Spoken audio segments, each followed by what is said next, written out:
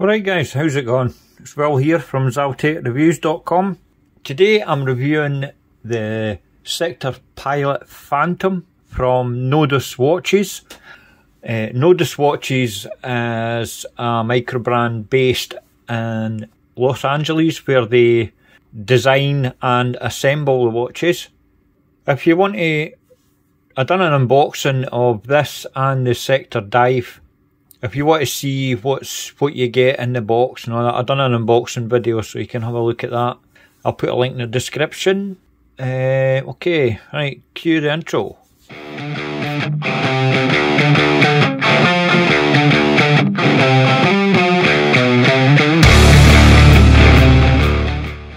Right guys, you've got two options with this uh, sector pilot. You can either, well, you can either have it with the stainless steel bezel like I've got here, or you can have it with a DLC coated bezel, obviously in black.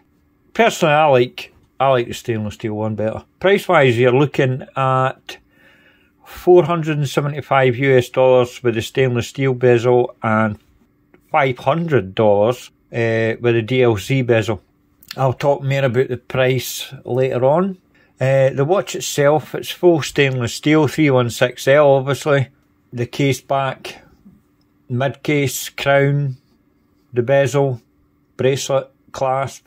With regards to the finishing on, on, on this, it's fully brushed with a few polished accents.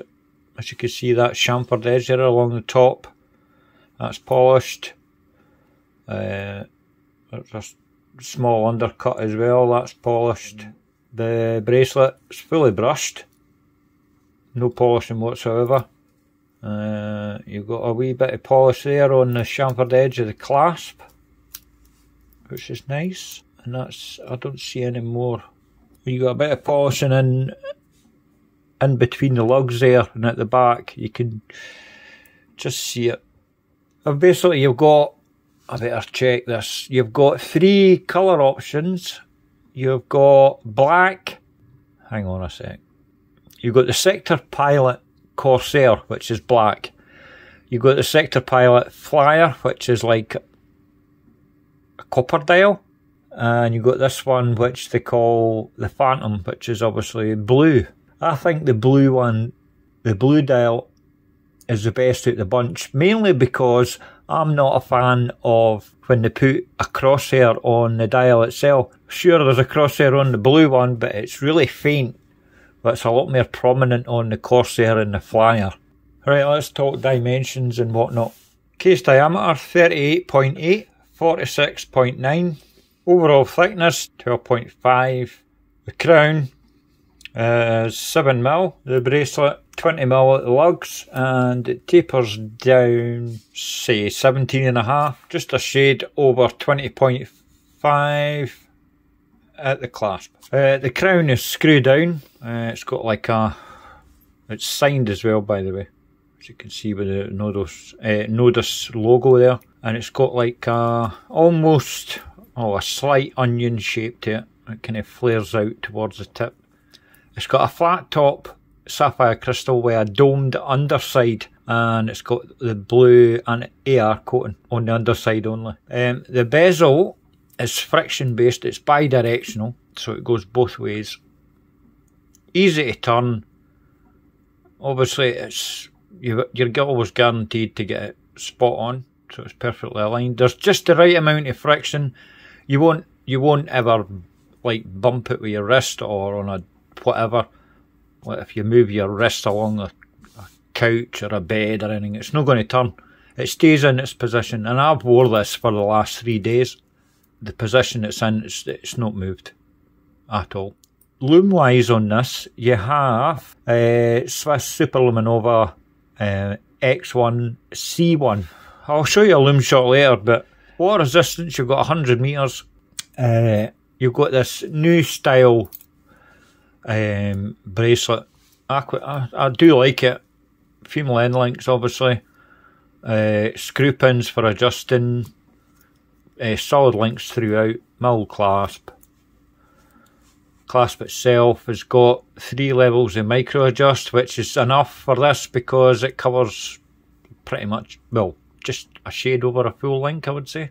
The total weight on of this, hold on, let's my wee scales thing. Now the total weight of this is 160 grams, that's for the full bracelet. Um, sized up for my wrist on bracelet, it, and my wrist size is six and three quarter inches. I weighed it in at 147 grams, so it's pretty much bang on. Uh, the dial is very, very nice. It's got you see that inner ring there. It's textured like a sand texture type piece there in the middle. See how it plays with the light? I think that's more the AR coating rather than the dial, but it does give a good, a good effect on this blue dial. It's nice. Uh, the hands are white and they're just uh, white matte finish. Obviously filled with lumen that in the middle. And the second hand swipe a narrow tip there, reaching right out to the minute track. I think the size of the hands too are very well proportioned. The hour hand just goes to the tip of that outer edge of the inner ring. And the minute hand goes right out to the minute track, so ah, it's bang on. It's lovely. And I love Arabics as well, rather than, you know, battens or indices or whatever. Hey, eh, what else? You've got. I've got to say, the finishing on this is fantastic. Um, the movement that's inside this is a Seiko NH36. Uh, I'd have preferred it. No, in fact, because you can't really do that. Uh, it's an NH36 and you've got day date complication and it's moved to the 6 o'clock. And I think this is the best execution of a day date at 6 because the day is horizontal and obviously the, the date underneath. Uh, I'm not sure if you've seen my review of the Radcliffe signature, which was released or was on Kickstarter recently and they done the day vertically with the date underneath in it. I didn't like it much. It was a nice watch, but I didn't like that aspect of it. I much prefer this execution of the day date. Colour match date wheels as well, can't fault it, bang on. As I say, the finishing's outstanding, the tolerances are fantastic, there's knee wiggle there, knee wiggle there nice action on the crown as well when you're using it. As I said, the bezel action's brilliant, even though I would have preferred the dive style bezel, 120 click. This this is still re really, really good. And it's a countdown bezel as well, by the way. I forgot to mention that. Aye, it's a countdown bezel anyway, so as you can see there. It's handy in that for time and stuff. It's actually got, you get more use out of this countdown bezel than you do a dive bezel, to be honest with you. Like real world use, I'm talking. As I mentioned earlier, case back is solid. You got the various specs around the edge there and this four circle thing in the middle. I don't know what that's supposed to represent, but, but either way, it's it's it's nice. So can't fault it. Aye, the clasp is really nice. I actually prefer clasps like this. Good action and everything, dead secure. Nice feeling on wrist, no too thick. In fact, it's actually, I mean, you compare it to like your normal flip lock with your dive style uh, clasp, or it's a lot thinner actually. Very nice watch. Uh, what am I missing? Oh, 12 logs as well, that's an added bonus. Uh, two years warranty, which is all good. Yeah, I'm, I'm definitely going to recommend this watch. When I first started the video, uh, I was going to have an a wee bit of a go at Nodus watches for the prices, and because it's got an NH36. Um, but I'm going to say like this one, as it is, $475. I think it's a fair, it's on the expensive side, but it's still a fair price due to the build quality and the finishing. But I mean, as long as they keep them under five hundred dollars, I think it's it's a good shout. I mean, you are getting what you pay for. Uh, build quality wise, I mean, this will last for years, man. Total years. It's never going to fall apart. And it's really well built. The outstanding finishing and all that as well. Right, let me give you a wrist shot. Uh, quick wrist check. I'm wearing my modified all metal G-Shock Square. Right then, wrist shot.